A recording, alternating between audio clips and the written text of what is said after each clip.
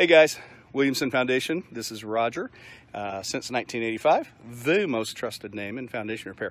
We also do drainage systems, and we often are looking at drainage systems installed by other companies.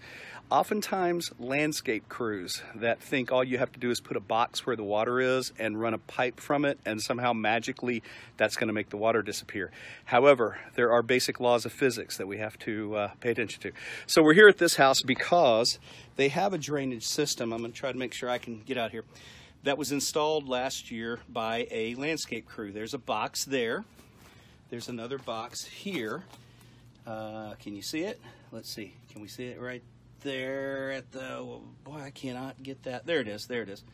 Um, now, during these recent heavy rains, the um, water actually rose above the foundation. Now, there's my shoe to show you how much space there is how much that water, how deep it had to get to go inside the house because the water had to get up here, the top of the foundation, before it could enter the house.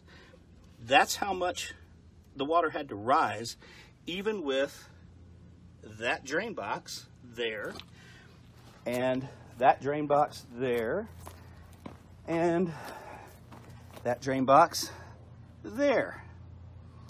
And um, so, water pooled in that area and couldn't escape fast enough because a lot of water comes down from the gutters on that roof right there.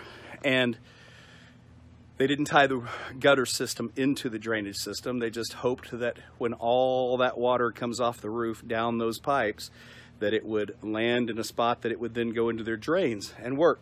Now, a couple of problems here. One, they used the drain boxes that have a collection area in the bottom. All that does is collects debris and just clogs those suckers up.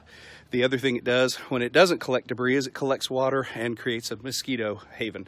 Um, the second problem is, if you see me walking along the front of the house, this is where they drained it too. There's a little pop-up.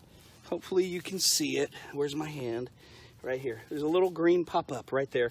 Grass has grown over it. It can't pop up, but that's what the water is supposed to come out of. Now, problem is, I took elevation readings. That pop-up is three inches higher than the drain pipe coming out of those drain boxes at the lowest point. So it didn't have a chance. No way that thing could have drained. So uh, don't let landscape crews do this to you. Their house flooded. They've got to have it a lot of work done now. Don't let landscape crews do that to you. Hire a professional. And we happen to be it. So anyway, Roger with Williamson Foundation Repair. Hope you guys have a great day. And if you need a drainage system designed, installed, repaired, let us know. We'll take care of it for you. Thanks a lot. Bye.